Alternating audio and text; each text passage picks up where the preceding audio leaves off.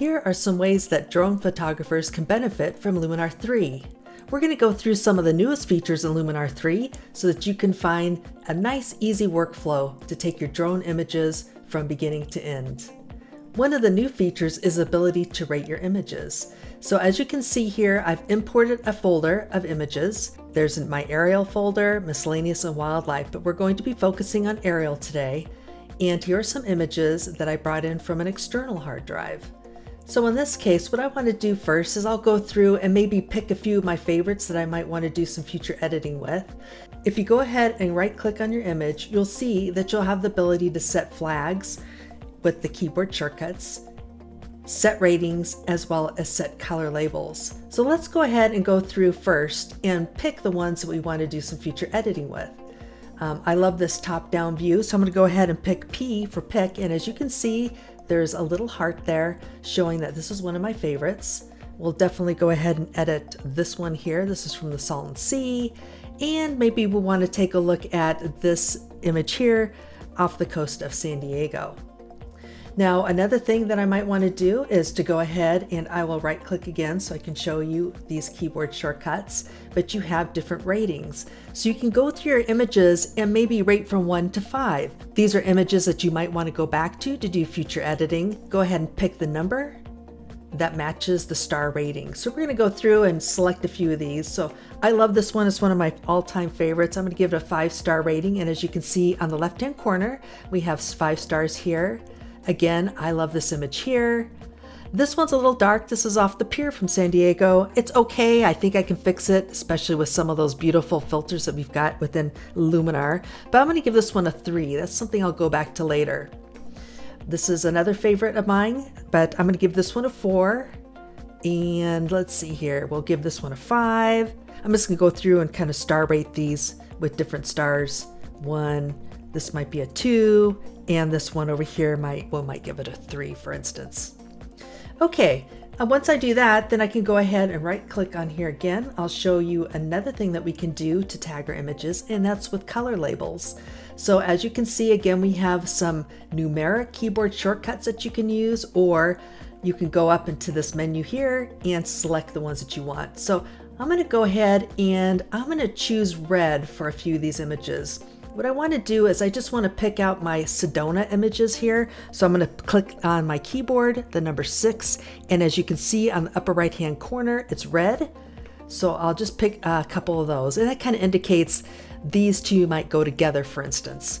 One of the abilities we can do is sync images together with adjustments. So that might be something that I might want to do is sync these two together so they kind of match a little bit. Or maybe these hot air balloons down below.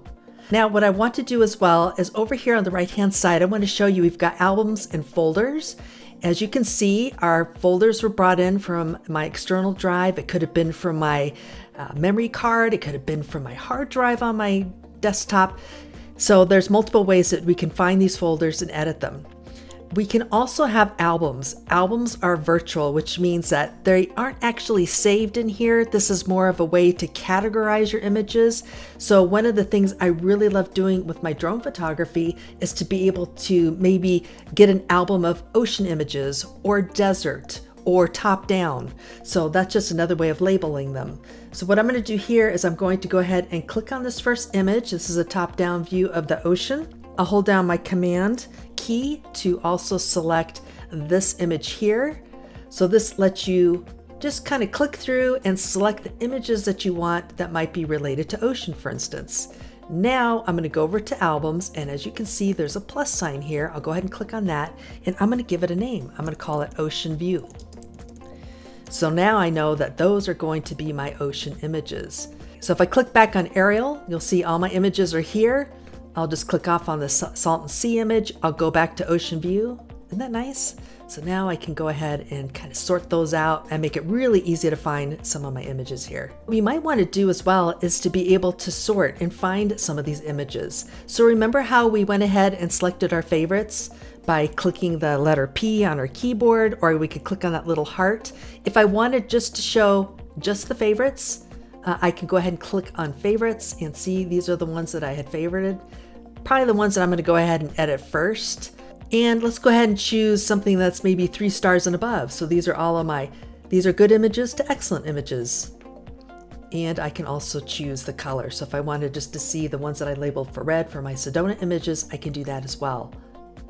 Okay, we're gonna go back now and choose all of our photos. So we'll take a look at all of our aerial images again. I'll go ahead and click on all photos.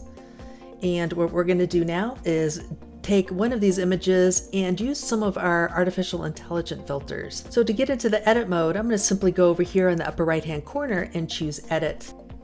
For those of you who have used Luminar before, this should look really familiar to you. You can add any one of these 51 filters.